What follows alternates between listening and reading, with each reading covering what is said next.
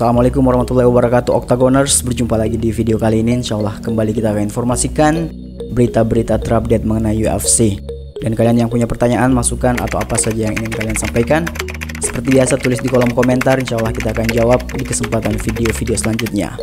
Silahkan dengarkan.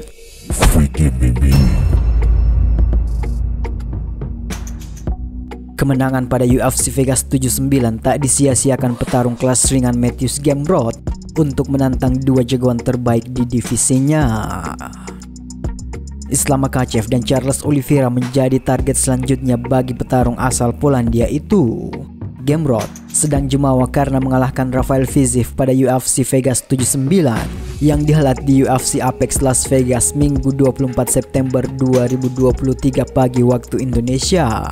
Akan tetapi, kemenangannya sedikit dibumbui keberuntungan karena Rafael Fiziev mengalami cedera usai melepaskan tendangan. Gamrot memanfaatkan situasi di mana Fiziev kakinya tak kuat untuk sekedar menahan tubuhnya dengan melepaskan serangan beruntun. Petarung berjulukan Gamers akhirnya menang di ronde kedua via TKO. Gamrot sendiri tidak benar-benar puas dengan kemenangannya karena musibah yang dialami Fiziev setelah laga yang berlangsung dengan ketat. Gamrot sebenarnya selalu mengalami kesulitan dalam memberikan tekanan terhadap Fiziev yang tangguh dalam pertarungan berdiri. Upaya takedown alias bantingan yang dilancarkan Gamrot juga selalu digagalkan Fiziev. Tentu saja, ini bukanlah hal yang saya inginkan. Sejujurnya, saya mempersiapkan diri untuk duel ini. Saya ingin pertahanan yang lebih kuat dari tendangannya. Saya mempersiapkan pertahanan yang sangat baik di sana. Saya berharap Rafael cepat pulih. Namun, kemenangan adalah kemenangan. Saya menang malam ini. Saya tak sabar menantikan laga berikutnya. Kata Gamrot. Juara kelas ringan UFC, Islam Makachev dan penantang gelar nomor 1, Charles Oliveira menjadi lawan impian Matthews Gamrot. Gamrot telah berhasil memenangi 6 dari 7 pertarungan terakhir di oktagon dengan satu-satunya kekalahan diraih melalui keputusan angka dari petarung top 5, Benel Darius. Saya tak sabar menunggu tahun depan untuk berlaga. Laga impian saya tentu saja adalah melawan sang juara, Islam Makachev, kata Gamrot. Secara belak-belakan, Gamrot bahkan ingin menantang Oliveira terlebih dahulu sebelum berjumpa dengan Makachev yang saat ini masih berstatus sebagai juara bertahan.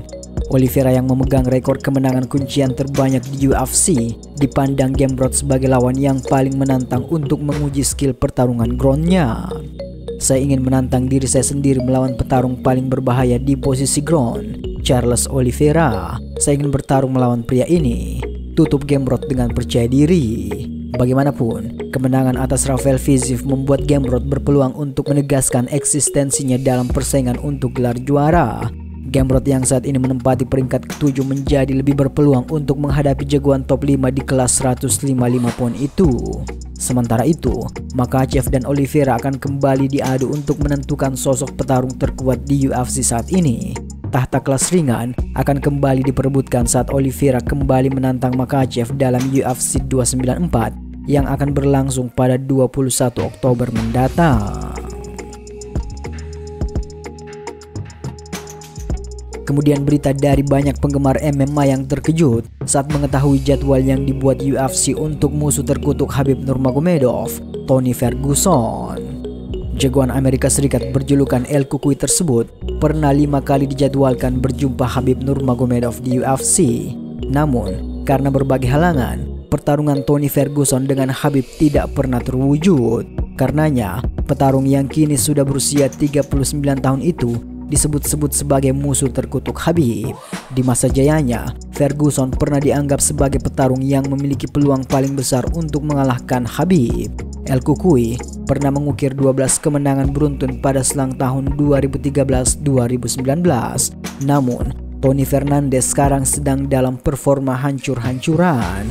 Mantan juara interim kelas ringan itu selalu kalah dalam enam penampilan terakhirnya. Walaupun sedang dalam performa buruk, Ferguson tidak terusir dari roster petarung UFC. Akan tetapi, Presiden UFC berkepala pentol, Dana White sudah pernah menyarankan agar jagoan berdarah Meksiko ini mempertimbangkan untuk pensiun. Sekarang, UFC memberikan jadwal baru kepada Tony Ferguson. Namun, di mata sebagian penggemar MMA, jadwal itu seperti upaya jahat UFC untuk mempensiunkan Ferguson dengan cara yang sadis. Pasalnya, dengan performanya yang sedang buruk, El Kukui malah dipertemukan dengan jagoan yang selalu menang di UFC. Orang itu adalah Pedi Scooby Dooby Pimlet yang sedang menunggangi empat kemenangan beruntun di UFC.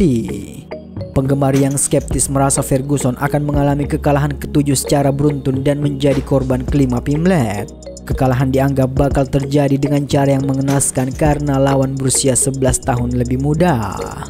Dana White memaksa Tony Ferguson untuk pensiun. Tulis salah seorang penggemar yang mengomentari unggahan ESPN tentang pertarungan ini.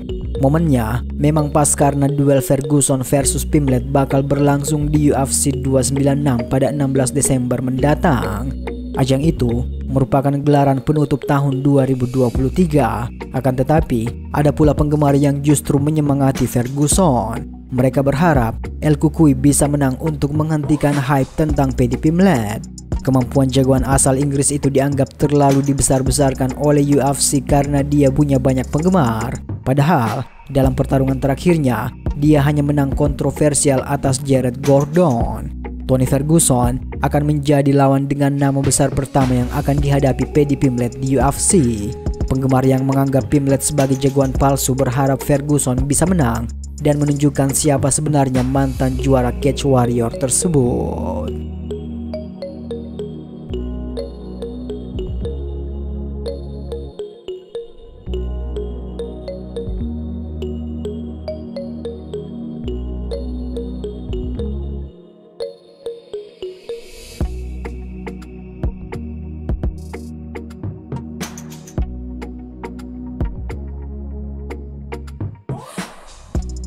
Sekian informasi untuk video kali ini. Nantikan video-video selanjutnya cuma di channel yang tak terkalahkan, tak terbantahkan.